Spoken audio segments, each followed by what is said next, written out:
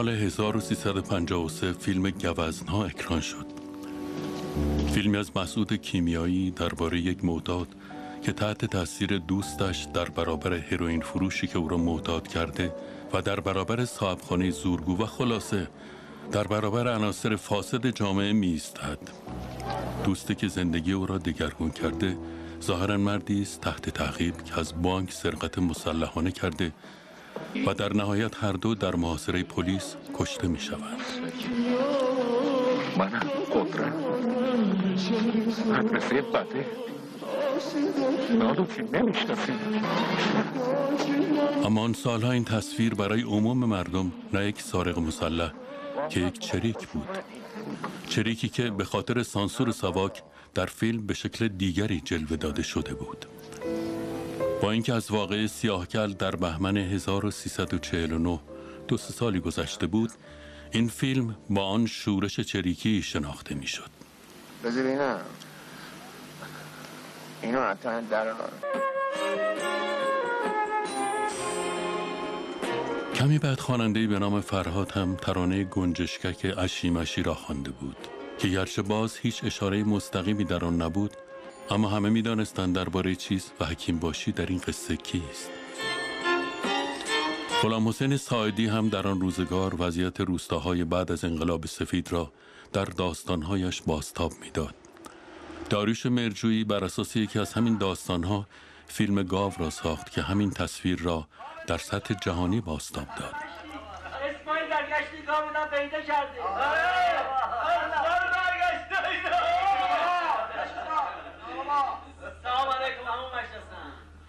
بالاخره گاوه پیدا شد. می‌دونه کجا بود؟ نرسیده به خاتون آباد اونجا داشت تو دره برای خودش می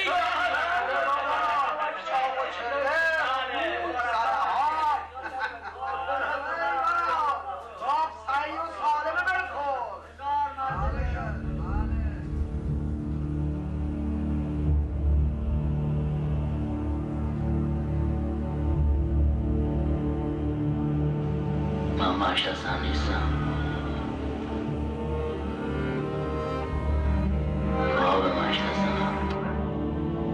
جلال آل احمد روشنفکر دیگری که در معرفی جریانهای اعتراضی در ادبیات نقش داشت در دهه چهل رسما علم مخالفت با استعمار را برداشته بود و هنر را با اصحاب اندیشه هنرمند پیرامون شرایط سیاسی خود می‌دید.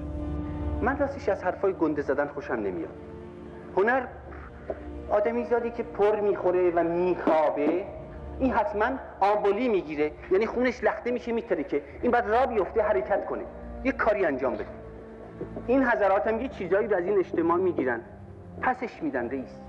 تو اینا رو هنر می‌شناسی علی جون نمی‌شناسی علی جون آل احمد که از خانواده روحانی بود بعد از شکست جنبش ملی شدن نفت نخستین روشنفکری بود که در کوران چپگرایی به اسلامگرایی توجه کرد. نمونه دیگر علی شریعتی از مشهد بود. شریعتی در فرانسه جامعه شناسی خوانده بود. اما با سخنرانی های مشهورش در حسینه ارشاد آن سالها به شخصیت محبوب جوانان خواهان تغییر بدل شد. شریعتی شخصیت های تاریخ اسلام را به زمان حال و دوران معاصر می کشید. لحن شورانگیز سخنرانی هایش ساواک را نگران کرد و سرانجام دستگیر و ممنوع از سخنرانی شد. مرگ ناگهانی او در اوایل سال 1356 در انگلستان در نزد افکار عمومی از توده های ساواک محسوب شد. اما یکی از اثرگذارترین شخصیت ها بین عموم مردم یک استاد روحانی دانشگاه به نام مرتضا متحری بود. متحری در سخنرانی های خود با حفظ فاصله از ادبیات چپگرای آن روزها مشخصاً به مفاهیم اسلامی مرتبط با جامعه روز می پرداخت که لایه انتقادی آن هم از نظر دور نمی ماند. وی در این حال از منتقدین افکار شریعتی نیز بود افکار شریعتی را آموزش ادبیات چپ روز با مفاهیم سنتی اسلام می‌دید و این آمیزش را خطرناک می‌یافت. در طرف دیگر دولتمردان محمد رضا برای مقابله با این جریان فرهنگی به تولید آثاری برای تبلیغ دستاوردهای حکومت او پرداختند. سال 1353 در پنجمین سالگرد تأسیس سلسله پهلوی که قرار بود پنجاه فیلم درباره دستاوردهای رژیم پهلوی ساخته شود محصول نهایی فیلم های شعاری شد که بعد از تماشای پنج فیلم حتی خود محمد رضا هم با عصبانیت گفت بس است. دیگر حاضر نیستم این فیلم ها را ببینم. همهشان مثل همند. این سیمای مردی است که با اندیشه های بلند و راهنمایی های حکیمانه خیش ایرانی آباد و سرفراز می سازد با هر سرعتی که ملت به سوی هدف پیش میتازد این سرعت در نظر بلند شاهنشاه نه کافی و نه قابل قبول است. شاهنشاه ایران سیاستمداری بزرگ مردی ورزش دوست و دوستدار مطالعه هستند. شاه به میان مردم می رود و پیکارگر نبرد بر ضد جهل و فقر و بیماری و گرسنگی می شود روزگار آزادی دهقان است. زمان رونق اقتصاد روستایی عصر رویدادهای بزرگ. همزمان دفتر فرع پهلوی میکوشید تا جریان روشنفکری قابل اعتمادتری در داخل نظام فرهنگی کشور بسازد. اما این هم مشکلی حل نمی‌کرد. مشکل اصلی این بود که شخص محمد رضا هم خواهان سینما و ادبیات مثل غرب بود و هم حاضر به دادن کوچکترین آزادی برای انتقاد از یک مقام پایین هم نبود. محمد رضا در کتابهایش خود را منجی ملت ایران معرفی می کرد بدون اینکه جایی برای مخالفت و انتقاد قائل باشد. دخالت محمد رضا در فرهنگ چنان بود که حتی کلمات فرهنگستان را شخصا باید تایید می کرد و اگر کلمی را خودش تشخیص می‌داد که باید تغییر کند همان می‌شد.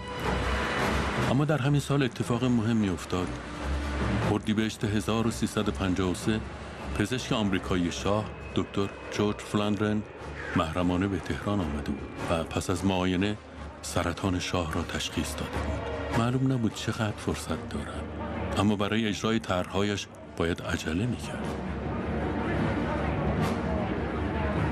بخت هم به یاریش آمد و درآمد نفت ناگهان نجومی شد.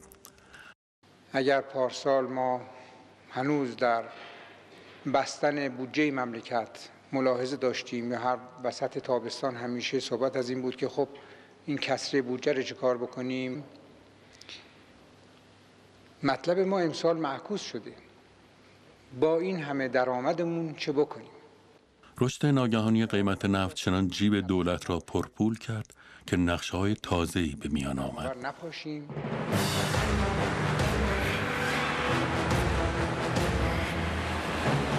یکی از برنامه محمد رضا شاه گسترش بدنه نیروهای امنیتی بود.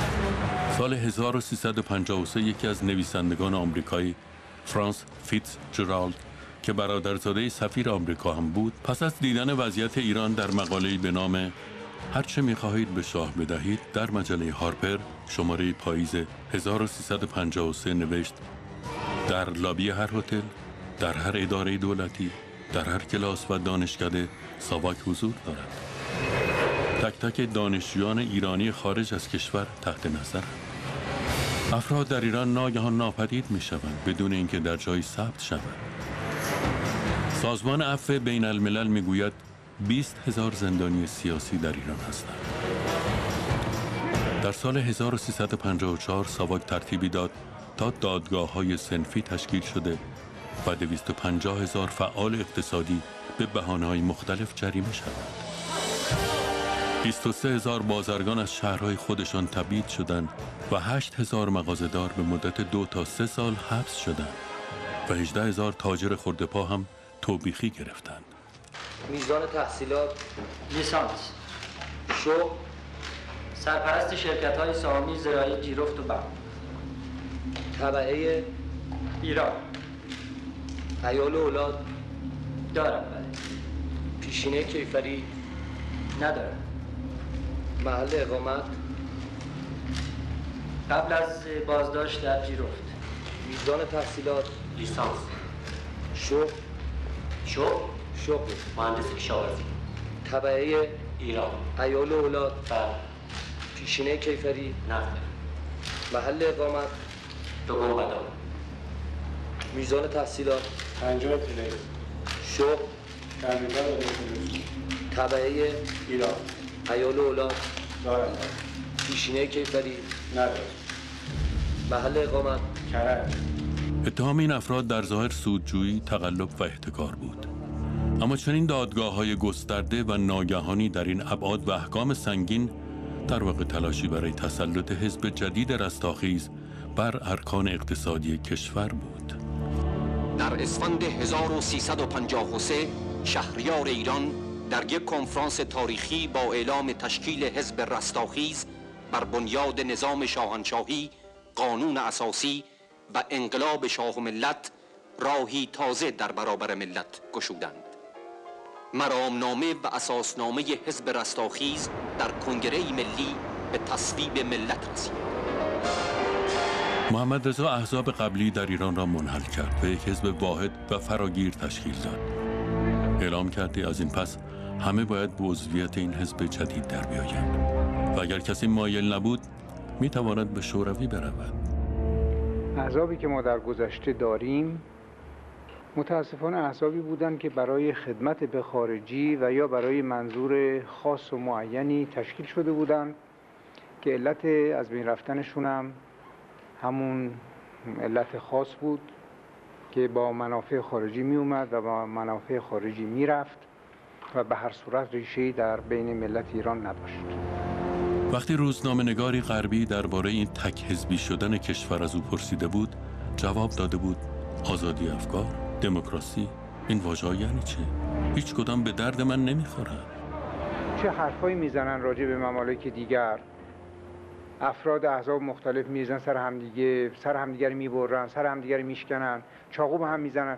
یا حتی می‌گویند که احزاب دیگر دو بعضی ممالک دیگر خارجی بهشون وجه میرسونن پول میرسونن تشویقشون می‌کنن سیاستمدارا رو می‌خرن میفروشن.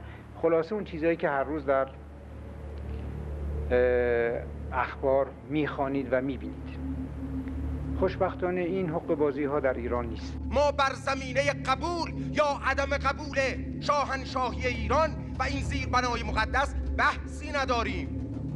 به هیچ وجه هم سخن بر این نیست که روزنامه های خارجی راجع به ما چه می‌گوید یک حزبی هستیم یا چند حزبی هستیم. به خاطر اینکه از مواهب اجتماعی مملکت ما و از نعمات فراوانی که خداوند متعال به ما ارزانی داشته استفاده کنند بدون جاه طلبی در صفوف سایر میهن پرستان تلاش نمایند و, بر... و به حزب رستاخیز ملی ایران بپیوندند. رستاخیز ملی ایران که از اصول مقدس اسلام الهام گرفته است. ایران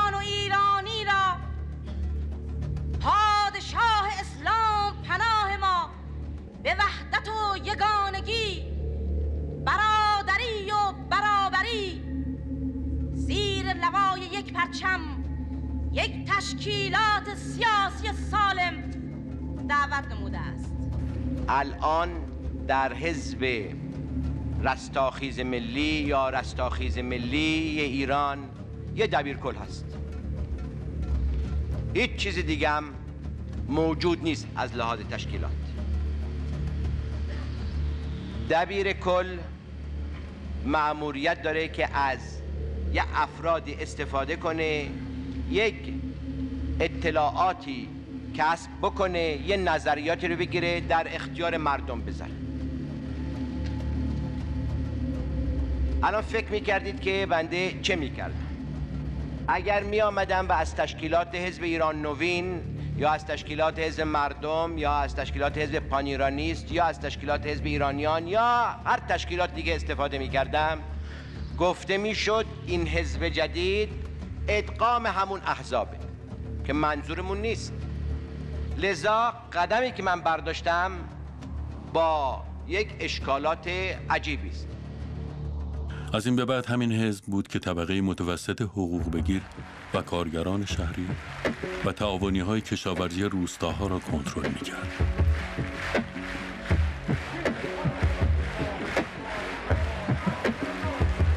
این حزب اصناف را که قرنها بود مستقل از دولت کار می‌کردند منحل کرد و همه را مجبور به عضویت در نهادهای ساخته این حزب کرد اعلام کرد قصد دارد حجره های پوسیده بازار را از بین ببرد و فروشگاه های مدرن دولتی بسازد محمد رضا عملا طرحهای مانند کشورهای سوسیالیست بلوک شرق اجرا می کرد. فقط بازاریان سنتی ناراضی نبودند. سناتور قاسم لاجوردی در نطق پیش از دستورش آمار شگفتآوری اعلام کرد. او که خودش از یک خانواده صنعتگر و کارآفرین بود گفت امروز در ایران از 104 شرکت دولتی موجود 103 شرکت ضرر می دهند. طبیعتا آن شرکت سودده شرکت نفت ایران بود. صنعتگران خصوصی هم از تسلط و چنگاندازی دولت بر همه چیز ناراضی بودند. محمد رضا در این سالها نه تنها اقتصادش را آزادتر نکرد بلکه ناگهان دخالتش را در همه شئون اقتصادی هم افزایش داد. حوزه علمیه در برابر رفتارهای حزب تازه تأسیس رستاخیز مقاومت کرد. مدرسه فیضیه به نشانه اعتراض تعطیل شد و روزهای بعد 250 طلب دستگیر و به خدمت سربازی اعزام شدند. امام خمینی در بیانیه عضویت در حزب رستاخیز را حرام اعلام کرد. امام اعلام کرد که این حزب برای نابودی بازار، دهقانها و کل کشور و اسلام تشکیل شده است.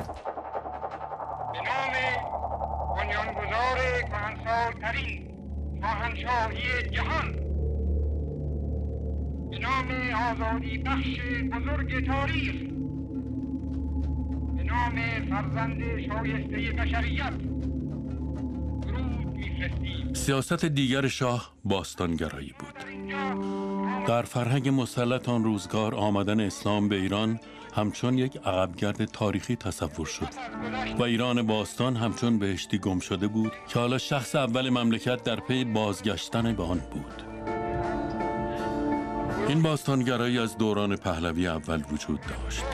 اما کم کم به جایی رسید که محمد رضا در سال 1355 تاریخ شمسی ایران را که بر مبنای هجرت پیامبر اسلام بود به تاریخ شاهنشاهی تغییر داد و تاجگذاری کوروش را به عنوان مبدع تاریخ ایران انتخاب کرد. یک شب تاریخ ایران از 1355 به 2535 تبدیل شد. مهمترین تلاش محمد رضا برای رسیدن به فرهنگی شبیه به غرب جشن هنر شیراز بود که از حواست دهه چهل هر سال در شیراز برگزار شده بود. جشن هنر در تخت جمشید گشایش می‌یابد. در این مراسم والا حضرت شاه دخت شهناز پهلوی سال 1356 در این جشن حتی روابط جنسی یک سرباز و یک روسپی علنا روی صحنه اجرا شد. الوین از ایالات متحده آغاز می‌گردد. در این نمایش رنگ، ریتم و حرکات اندام آدمی که در هم آمیخته شده به معرض نمایش گذارده می شود. مدیران از فرهنگ غربی و چه آزادی جنسی را گرفته بودند اما به آزادی انتقاد از دولت بهایی نمی‌دادند.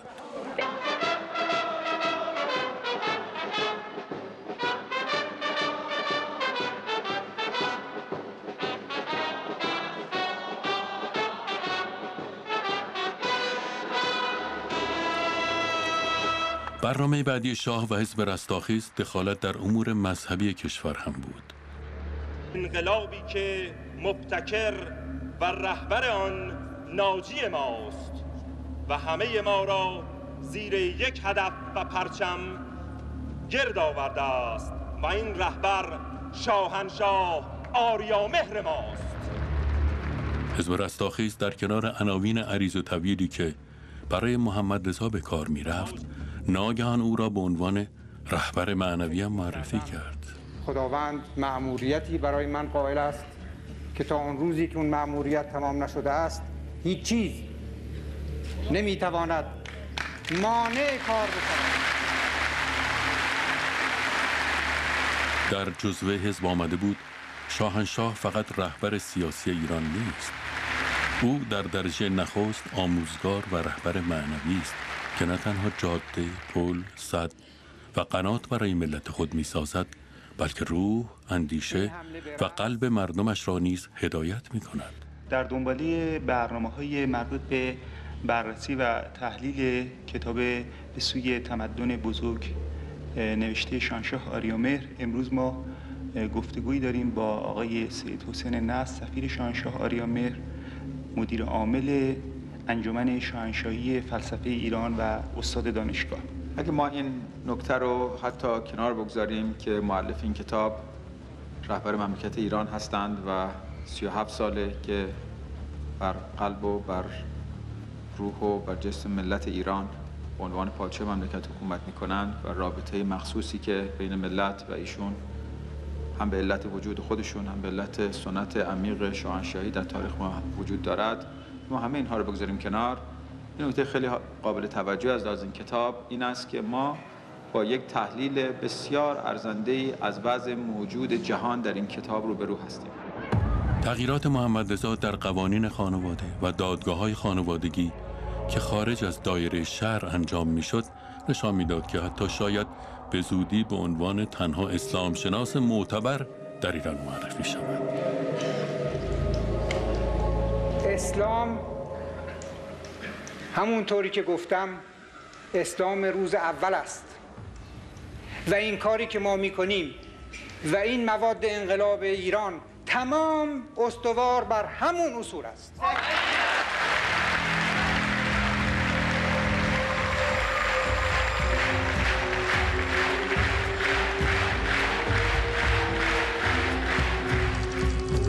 پاییز 1352 او در گفتگو با اوریانا فلچی روزنامه نگار ایتالیایی سخنانی گفت که نشان می‌داد افزایش درآمدهای نفتی تا چه اندازه در روحیه و اعتماد به نفس محمد رضا اثر گذاشته است.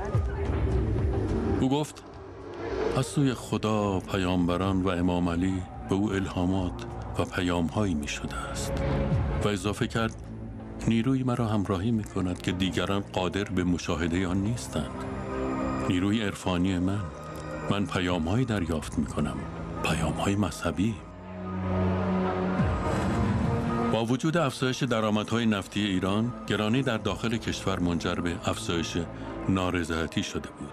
کسی که گرون میفروشه به نوبه خودش شاید به مراتب بیش از اون که گرون فروخته باید گرون بخره. من می‌تونم بخرم ولی نه می‌خرم نه می‌خورم.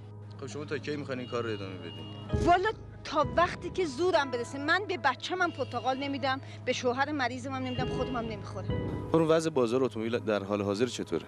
الان به صورت سابق نیست یعنی می‌تونم بگم خوب نیستش. علتش چی است علتش چند تا مسئله هستش که اینا باعث این به اصطلاح خراب بودن بازار میشه. یکی اینکه الان اتومبیلا از قیمت سابق خیلی تفاوت کرده. یعنی یک اتومبیلی که مثلا در سال 74 بوده 100 تومن الان شده دوبل اون قیمت. یعنی 200 هزار تومن. شما خودتون جز کسایی بودین که میوه گرون شده بود تحریم کردن تحریم کردین بله شما؟ بله. الان بازم حاضرین شما بازم حاضرم واقعا. برای عید حتی من برای من میوه نخریدم. فقط یک کیلو سیب من برای عید نتونستم پیدا کنم. مگه میشه؟ مگه امکان داره مردم گوش نخورن؟ گوش که نخورن پرتقال نارنگی کی کیلو 6 تومن بخورن. چی بخورن آخه؟ ماهی بخورن که گیر نمیاد مثلا میاد میرم میگه آقا آقایون پرتقال نخورن. گوشت هم که نخورن. پس الان نونم که نه هوا بخورن. من روزی ده تا موز دارم. روزی ده تومن خونم نارمکه. از نارمک بیام تا اینجا. روزی سه تن کرماشی میدن. درسته؟ روزی چقدر گوش بگیرن؟ یه تومن گوش بگیرن بخورن. با چهار نفر پنج نفر. ما واقعا نان و گوشته. این طبقه محروم رو تأمین بکنیم. همین که داشتن نخود دوبیانه بالاخره دیزی داشتن که با این دیزی ارتضا می‌کردن و این تمام مواد مورد احتیاجشون توش بود که الان از اون دیزی هم محروم شدن. بنابراین اگر ما تمام توجه صرف بکنیم که حداقل زندگی رفاه نسبی برای اون طبقه اکثریت باشه و این طبقه اقلیت رو بار رو دوش اینا بذاریم خیلی کارها میشه انجام داد. بار مالیات از دوش اینا باید کم کرد. عرض کنم بعضی از نوارز از دوش اینا برداشت. یه مقدار اینها رو ما می‌تونیم تعدیل کنیم. همون عدالت اجتماعی که دنبالش میریم همینه. ضمناً هم باید بهتون بگم کارا که در ایران میشه شاید در دنیا بی سابقه است. و خیلی ها به ما مراجعه می‌کنن که ببینن ما در اینجا چیکار می‌کنیم. البته ما با کمال میل و همه اطلاع میدیم که چیکار می‌کنیم. تورم مدام در حال افزایش بود. علل این تورم افزایش نقدینگی و تقاضا و عقب ماندن عرضه بود و البته کماکان خرج اصلی پول نفت در ارتش می‌شد. بین 1332 تا 1356 بودجه نظامی ایران دوازده برابر شده بود. سال 1354 محمد رضا بزرگترین نیروی دریایی خلیج فارس را داشت. در سراسر خاورمیانه بزرگترین نیروی هوایی متعلق به ایران بود. 173 فانتوم و 141 F5 در نیروی هوایی بود. نیروی زمینی هزار تانک، 400 هلیکوپتر پیشرفته و 100 توپ دوربرد داشت. در گزارش های کنگره آمریکا ایران بزرگترین خریدار تسلیحات جهان بود. با این حال شاه سال 1356 باز هم 12 میلیارد دلار به آمریکا سفارش تسلیحاتی داد. محمد رضا کم کم به این فکر می‌کرد که شاید در وضعیت جدید باید فردی را برای دولت منصوب کند که با اقتصاد آشنایی بیشتری داشته باشد چون به اراده مبارک ملوکانه مقرر است که در سمت دیگری افتخار انجام وظیفه داشته باشم امروز جلسه هیئت وزیران را تشکیل دادم و دولت استعفای خود را تقدیم کرد مرداد 1356 محمد رضا هویدا را بعد از 13 سال از نخست وزیری کنار گذاشت و جمشید آموزگار رئیس مجمع سالانه بانک جهانی و صندوق بین المللی پول را که سابقه کار روی قیمتگذاری نفت در اوپک را داشت به نخست وزیری برگزید. آنچه که امروز در اینجا عرضه می شود سیاست ها و اصول کلی برنامه های دولت است که شاید به واقع بتوان در یک جمله خلاصه کرد. کار و کوشش بیشتر با کارایی بالاتر توأم با صداقت و سراحت در اجرای اصول انقلاب شاه و ملت. چهار ماه بعد از انتصاب آموزگار در سال 1356 روزنامه اطلاعات در 16 دیماه مقاله به نام ارتجاع سرخ و سیاه با امضای احمد رشیدی مطلق منتشر کرد و در آن به امام خمینی بزرگترین رهبر مخالفان شاه تاخت. مقاله سعی داشت امام را شخصیت معمور استعمار نشان بدهد و او را مقصر فجایع قیام 15 خرداد 1342 معرفی کند. انتشار این مقاله دو ماه بعد از فوت مشکوک سید مصطفی خمینی فرزند ارشد امام در نجف رخ داد. روز 18 دیما حوزه قم تعطیل شد و طلاب به منزل مراجع رفتند. بازار هم تعطیل شد و شهر قم به حالت نیمه تعطیل درآمد. عصر 19 دیما سی هزار نفر به سمت خانه آیت الله نوری همدانی رفته و به سخنرانی او در محکومیت این مقاله گوش کردند. پس از سخنرانی جمعیت به خیابان رفتند و در آنجا با حمله مأمورین انتظامی روبرو شدند. با آنکه آمار دقیق تلفات آن روز مشخص نیست، اما شاهدان عینی می‌گفتند مجروحان را به خاطر کمبود جا در راهروهای بیمارستان ها جای داده بودند.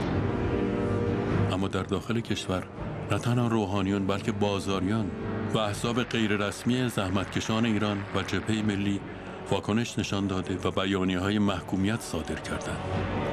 جبهه ملی در اعلامیه خود از امام خمینی به عنوان پیشوای بزرگ روحانی یاد کرد و به دستگاه حاکم هشدار داد که مردم عقب نخواهند نشست. دولت اما نه فقط عذرخواهی نکرد که یک هفته بعد از این واقعه در 24 دیما در روزنامه کیهان هم مقاله دیگری با امضای حسن معینیفر چاپ شد و سراحتا در آن روحانیت ابزار استعمار معرفی شد. در نتیجه مراسم چهل آینده شهدای قم پیشاپیش رویدادی سیاسی شد. مراجع پیش از چهلم در بیانیه های مردم را به حضور در این چهلم دعوت کرد در تبریز با شلوغ شدن مسجد حاج میرزا یوسف آقا رئیس کلانتری محل حاضرین را به تیرباران تهدید کرد. یکی از جوانان به او اعتراض کرد اما رئیس کلانتری با کلت او را هدف قرار داد.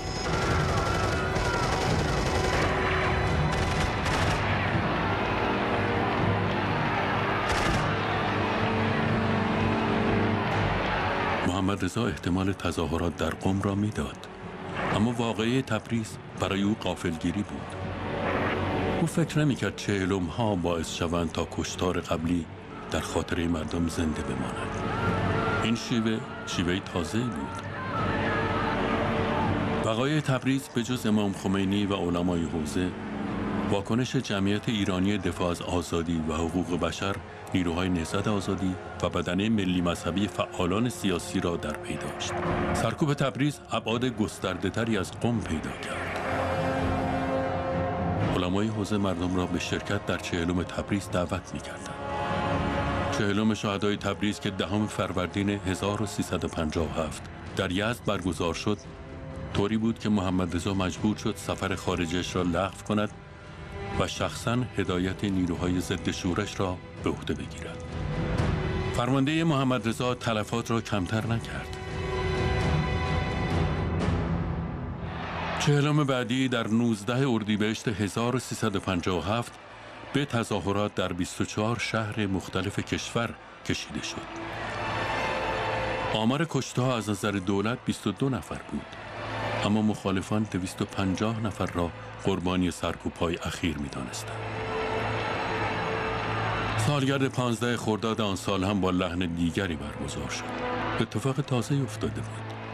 اتفاقی که محمد رضا درک نمی‌کرد. 20 مرداد سال 1357 و در ماه رمضان تظاهرات آن سال در اصفهان بین 100 تا 200 نفر تلفات گرفت. اولین حکومت نظامی در اصفهان برقرار شد. در پی اعلام حکومت نظامی در اصفهان عدهای دستگیر شدند آیا در تحقیقاتی که از اینها شده روشن شده که عوامل اصلی چه اشخاصی بودند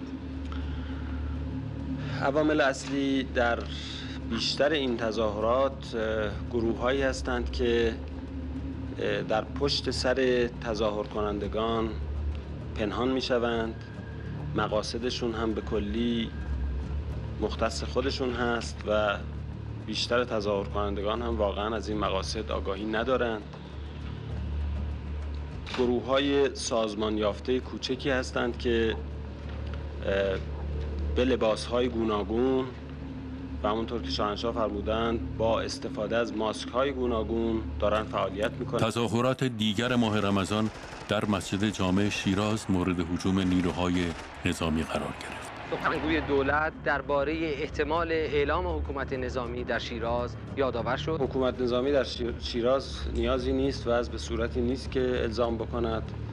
البته باید توجه داشته باشید که هر وقت در یک شهری تظاهراتی صورت گرفت و احیانا شهربانی از مثلا واحد ارتشی کمکی خواست چهار تا کامیون نظامی هم اومدن به کمک پاسبانان این معنیش حکومت نظامی نیست. یه وقت تلقی نشود که هر جا سر و کله یک خودروی ارتشی در یک شهری پیدا شد خیال کنند که حکومت نظامی اعلام شده.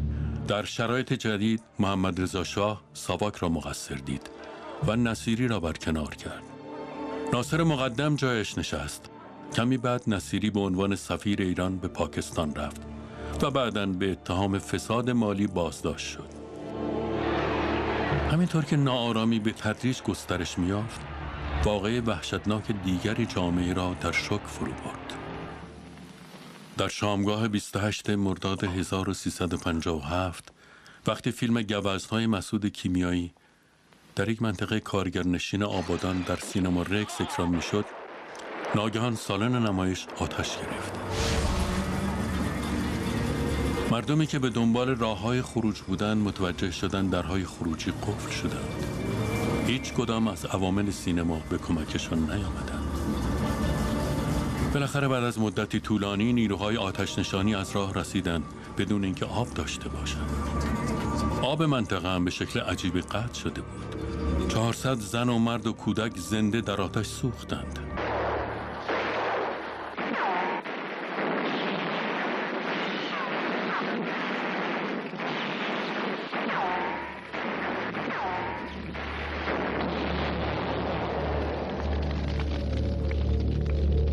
اگر در گذشته شخصیت های فیلم گوزن ها تنها تصویرهایی روی پرده بودند که با ترس و لرز از سانسور ساواک به شکلی تلویحی از وضع جامعه انتقاد می کردن، حالا و بعد از این واقع در آن رمضان گرم و ملتهب در مراسم خاک سپاری شعارهای جدیدی شنیده شد. آن روز ده هزار نفر آبادانی فریاد زدند. مری بر شاه.